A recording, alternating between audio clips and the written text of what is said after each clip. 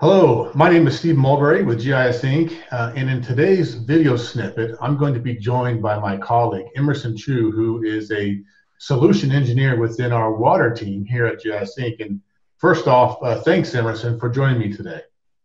Hey, Steve. Uh, thanks so much. I'm glad to be here.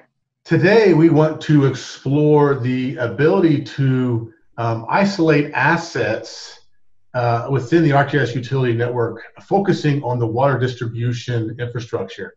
So, Emerson, can, can you explain to us why this might be important? Sure, Steve. This capability gives users of the water system the ability to rapidly find and isolate sections of the network that might be affected by a leak and determine what valves are needed to turn off the water flow. This process also allows the GIS team to validate the existence of critical features that might be missing from the GIS that are needed to run the isolation trace. This is a preemptive measure that allows GIS staff to determine if features may possibly be missing from the GIS. Let me show you an example. So one of the major improvements with the utility network is the out-of-the-box traces provided. In this example, I have a known leak depicted with the green dot. By using the isolation trace tool, I can immediately determine to isolate the problem area. I'll let the trace run now to determine which valves will need closing. The trace is traversing the network looking for controllable valves needed to turn the water supply off.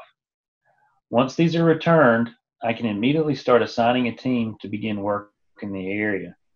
I can also check the box to include isolated features. When I run this trace, I'll get back a list of all features that will be affected by the isolation. If addresses or other pertinent information are assigned to these points, we can then start to notify users of the outage again, highlighting the importance of the new isolation trace right out of the, the, the toolbox.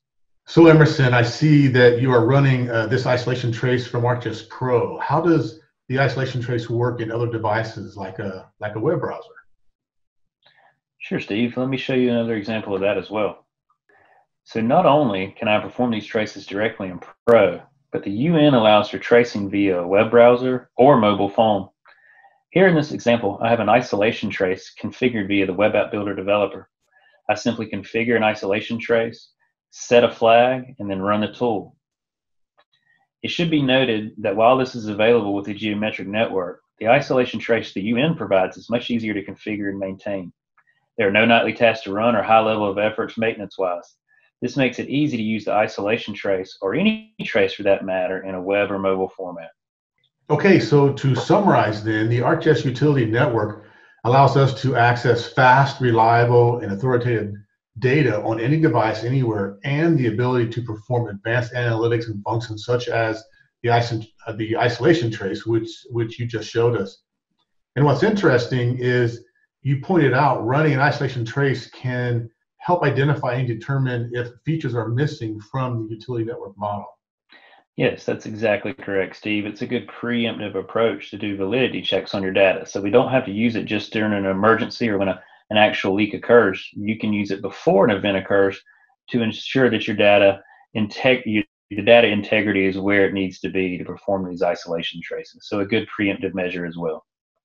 Excellent, Emerson. So I really appreciate you taking time to walk through one of the many capabilities found in the new ArcGIS Utility Network and giving us that overview specifically the isolation tracing process.